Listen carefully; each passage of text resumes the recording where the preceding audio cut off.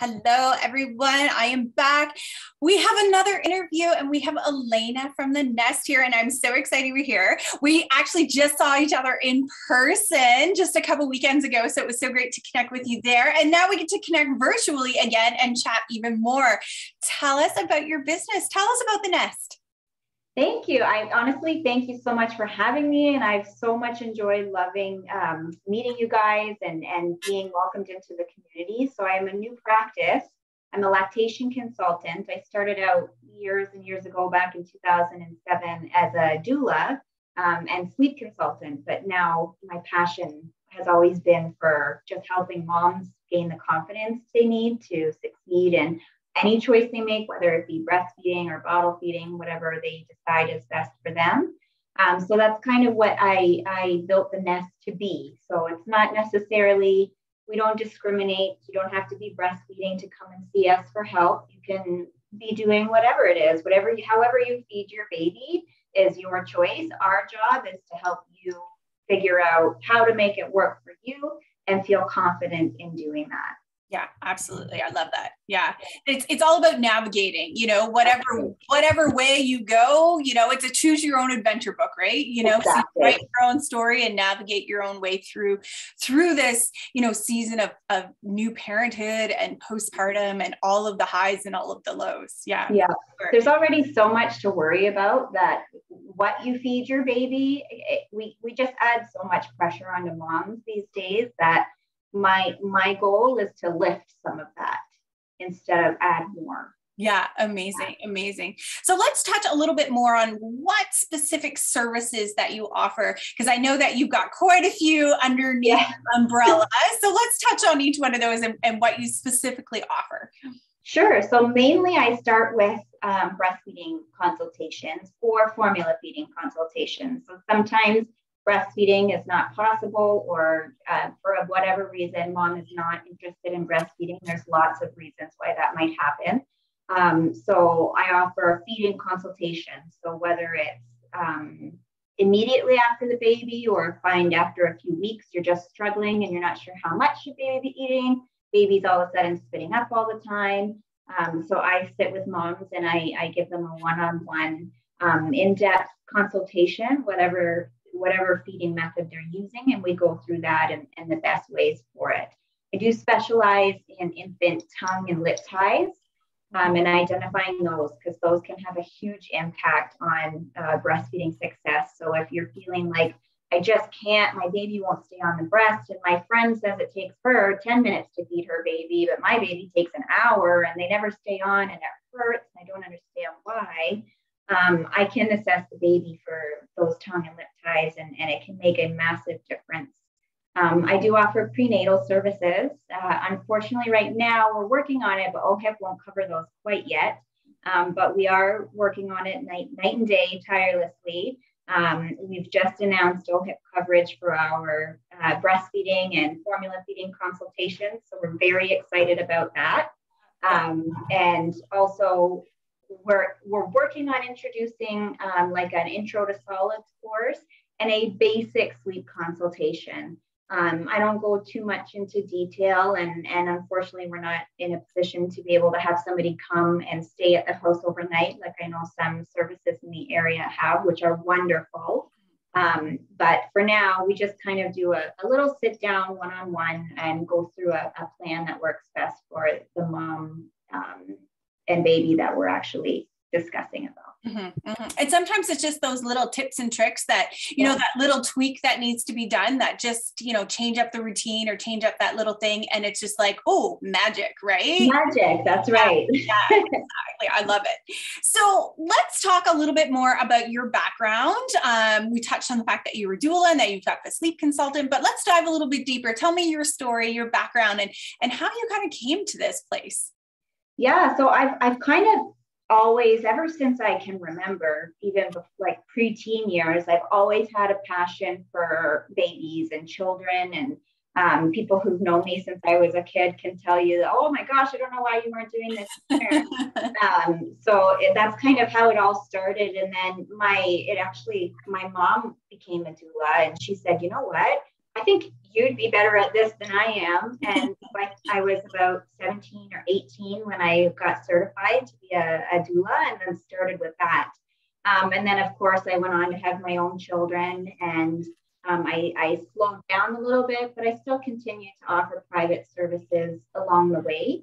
Um, and then after I had my first baby, I'll say breastfeeding was night and day. Even though I knew everything I knew before I even had kids, that when it's your own baby, it's like eh, you forget everything and it all goes out the window, right? Yeah. yeah. Um, and I had such a hard time breastfeeding. I ended up pumping and exclusively bottle feeding. Um, and then I, I just realized, oh my gosh, there's not enough help out there for moms. And that's when I started really focusing on helping moms breastfeed. Um, so I, I, was at that stage where I was still having kids. I went on and had two more kids. And so it was sort of slow for me, and I was doing little bits at a time.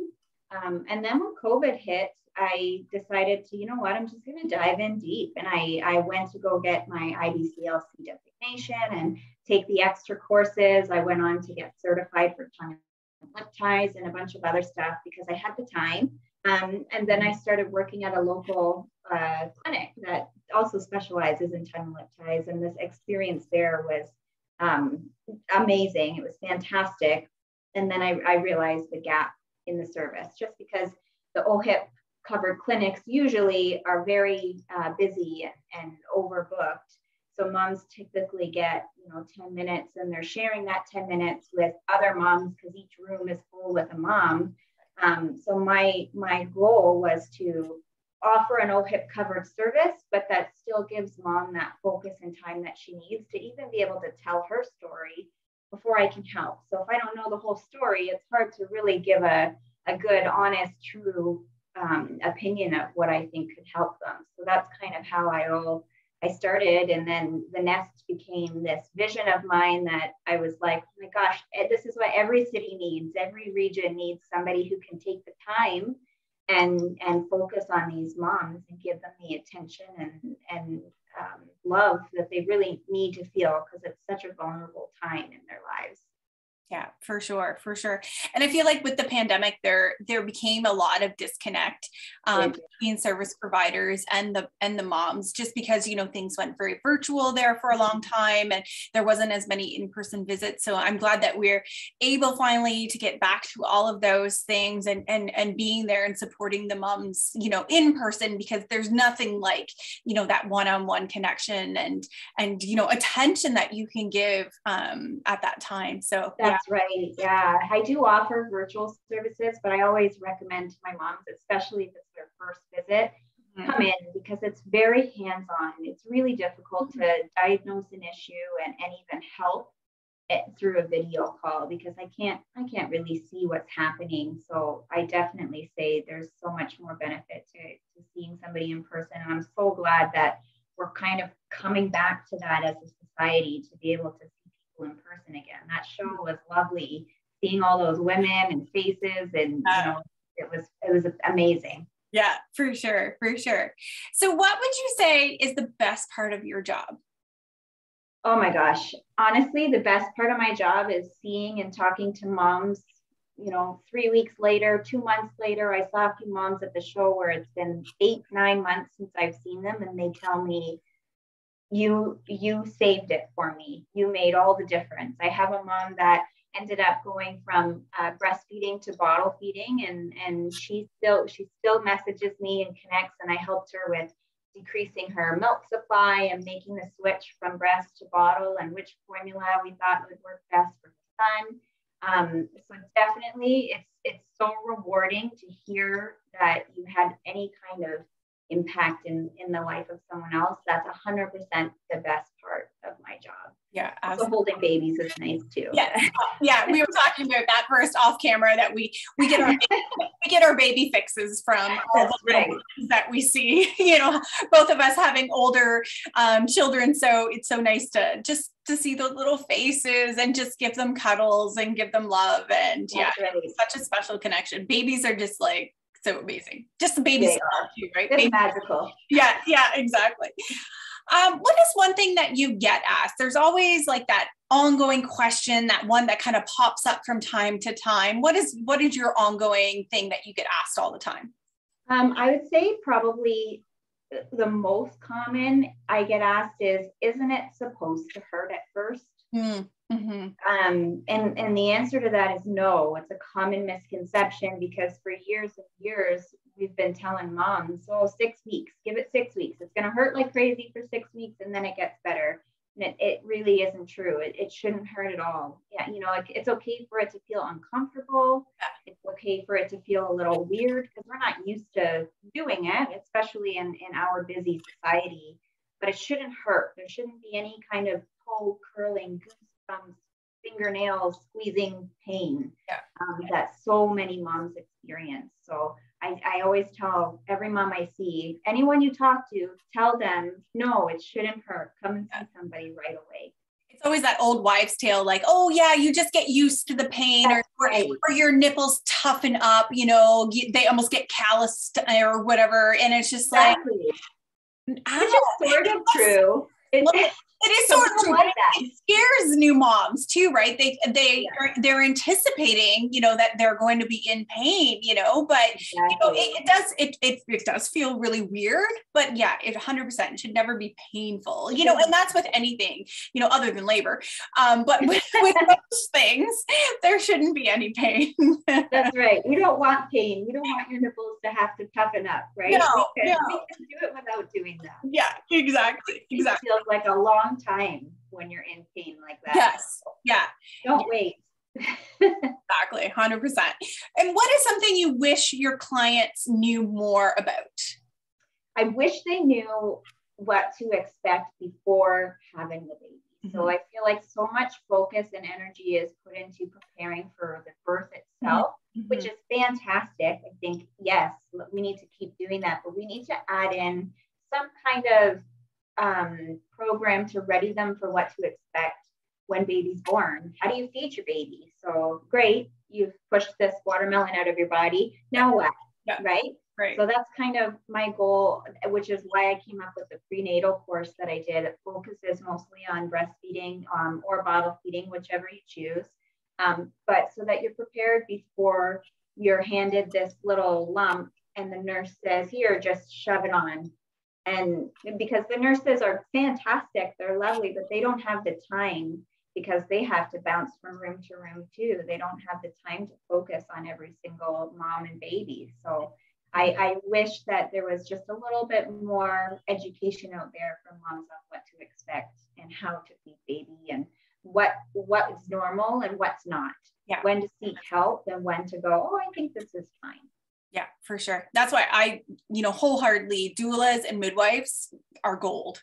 You know, to have that extra one-on-one support, and you know, yeah. I definitely recommend to um, anybody and everybody if they're on the fence about it do it because yeah. you know just to have that extra care um, and and also people like yourself are doing the lactation consultants and you know this is one thing i wish that i had done, you know, with all of my children because I struggled with nursing. Like we just tried to get the first six weeks in and, and then we were mm-hmm. happy with that. And we switched to bottles because it was just like, I couldn't do it anymore. I threw my hands up and we were done and we were exhausted. And, you know, you know, even four years ago where, where my youngest is now, like there wasn't that much out there. And, you know, it's such a value to have, you know, that hands-on um, help and, you know, assistance through that, those periods. Cause even like the first like two, three weeks might be okay. And then all of a sudden you just like hit a plateau and it's just like, uh, whoa, wait, what happened? Right. Yeah. Yeah. Or you just kind of like something gets turned or something changes and it's just yeah. like you lose it. Right. And yeah. you're trying your best to hold it all together. And,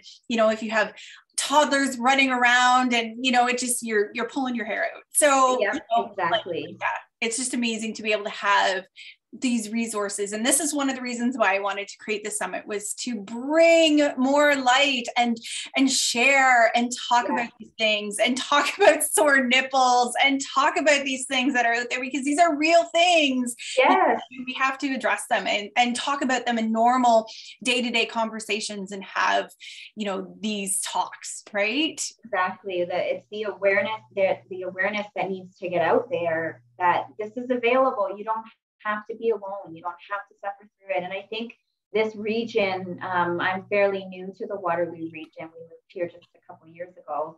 Um, but I think the midwives in this region do an amazing job at trying to get all that awareness out there. But we're all just individuals trying to get the word out. So the more we come together and, and speak as loud as we can, the, the greater reach we're going.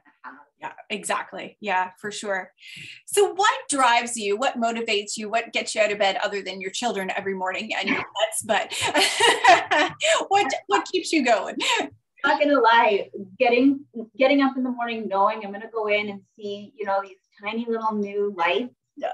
I, I just that helps a lot. And then knowing that there's a mom, even if it's just one in a day, there's a mom out there who may be waking up in tears that I can help.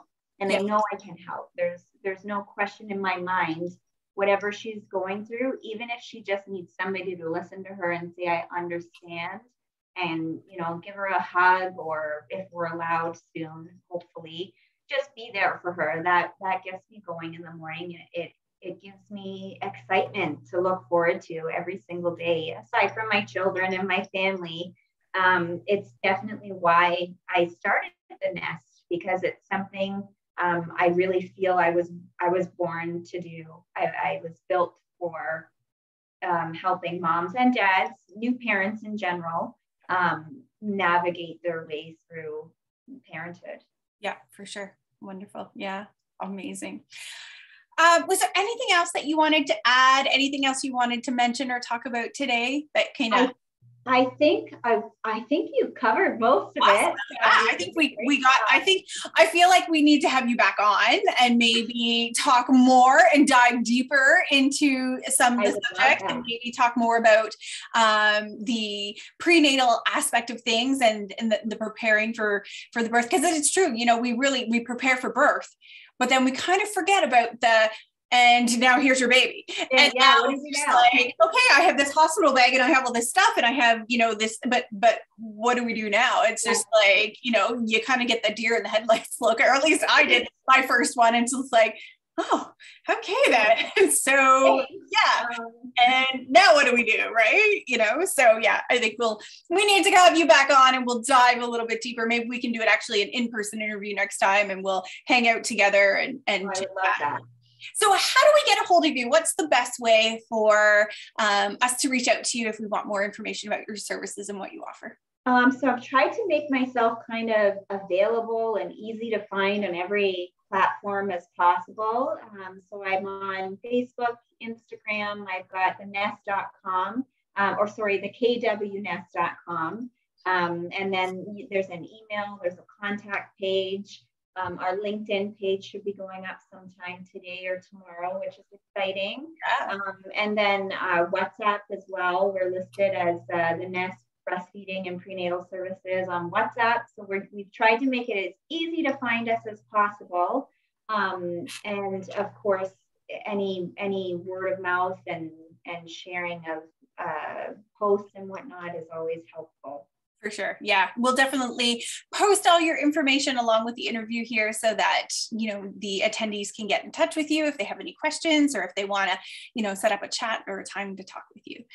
Thank That's you. Yeah, thank you so much for coming on and um, chatting with us today and sharing about what you do at the Nest. Oh, thank you so much for having me. It was a, a real pleasure to be here and, and visiting with you again. And thank you again. Yeah, my pleasure.